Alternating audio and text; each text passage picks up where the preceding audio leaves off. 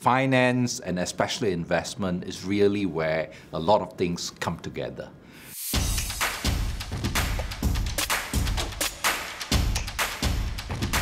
We're very privileged today to have the opportunity to listen to a breadth of different speakers from various backgrounds and expertise. This is a world which is unprecedented in many ways. So for us, it is about being able to prepare for the uncertainties and finding different ways to navigate the future. We are at a really important time in the future state of the world. We could go back to a globally unified, globalizing world. The direction of travel is not clear. Transformation is critical.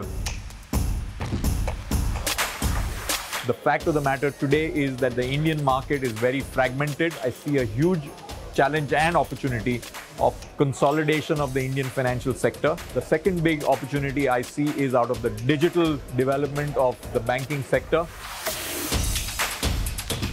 I think it's about the shifting architecture of the world. We all got so used to the 20th century architecture, and 21st century architecture is going to be very different. Driven by technology and demographics, governments, companies, investors are all going to have to figure out what is this going to look like and maybe even influence it to the right place.